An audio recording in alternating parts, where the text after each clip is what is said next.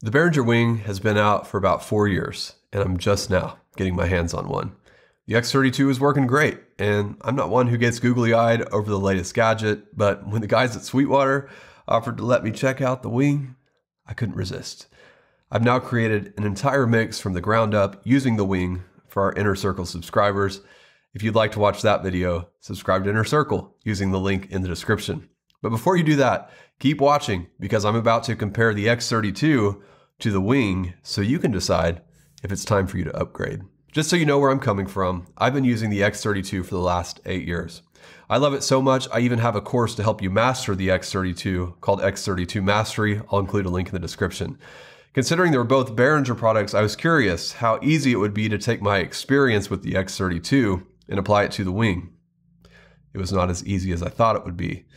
I mean, as far as controls go, the channel strip is pretty much identical, but that's where the similarities end.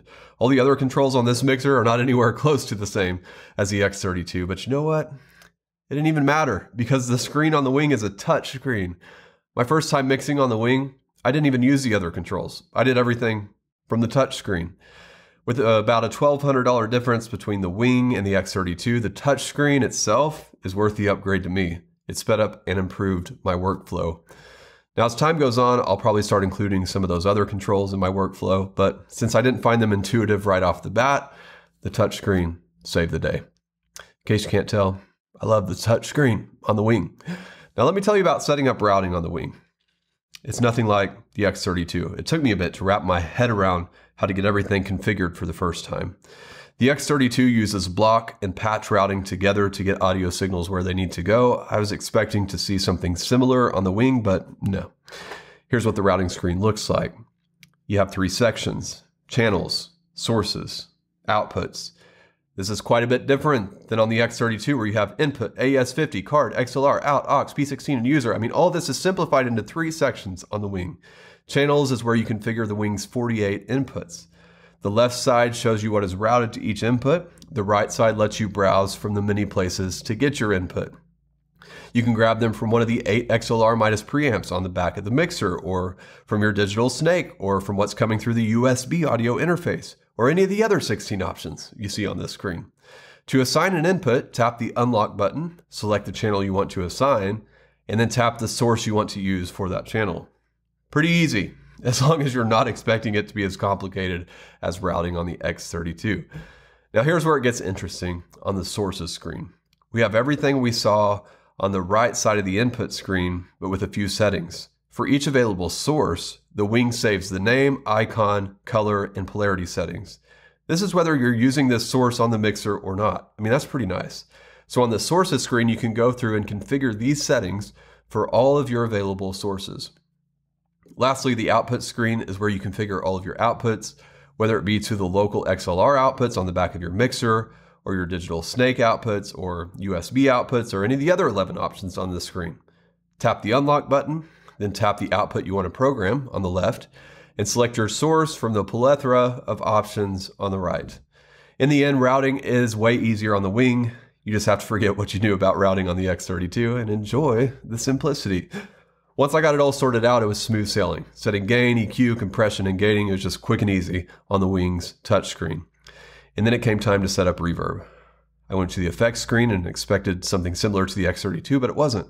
I mean, on the X32, this is where you program all of your effects settings and what channel or bus that's going to use that effect. But on the Wing, this is simply an overview of the effects that you have loaded into your mixer. All the settings can only be accessed on the channel or bus you have that specific effect loaded into. For example, I loaded in a plate reverb for the insert of bus 13, and that's where I can adjust all the settings for that reverb. Once it's loaded in, you'll see it listed on the effect screen, and then tapping the effect takes you right to that channel or bus that uses that effect. So the effect screen is basically a shortcut. Again, really easy, as long as you're not expecting it to be like the X32. Another interesting thing is that there are no effects returns. This is great because you're no longer limited to only using four different effects that are accessible to all of your inputs.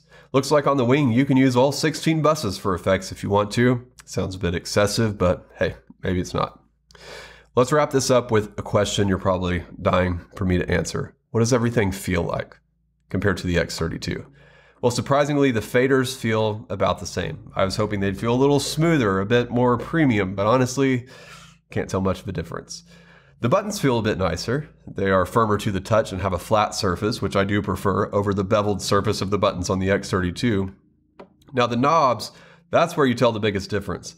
They're as smooth as butter on the wing, and there's a little more resistance, which makes fine tuning easier. Too bad I didn't use them much since everything can be done on the touchscreen. So, is it worth the upgrade? If you need a new mixer, I would choose the Wing over the X32. The extra $1,200 to get a touchscreen, simplified routing, and eight more inputs, totally worth it. On the other hand, if you have the X32 and it's working for you, I would not upgrade. Because now you're talking about spending over $4,000 for the differences that I mentioned in this video. They're worth $1,200, but not worth $4,000 in my opinion. But hey, the choice is yours. And whether you decide on the X32 or the Wing, I've linked both of them below where you can grab them on Sweetwater and support our channel in the process. If you've never ordered from Sweetwater, do yourself a favor and make your next purchase there. They always have the best pricing and their, their customer service is outstanding. Of course, your mixer is only as good as your ability to use it. You can master either, either of these mixers quickly with lifetime access to my online course. Learn more about X32 Mastery or Wing Mastery using the link in the description. And hey, if you'd like to watch me create a mix from the ground up using the wing, join my inner circle. You'll get a whole lot more than just one video. It's where you get the ongoing support that you need to thrive in audiovisual. Subscribe to Inner Circle using the link in the description.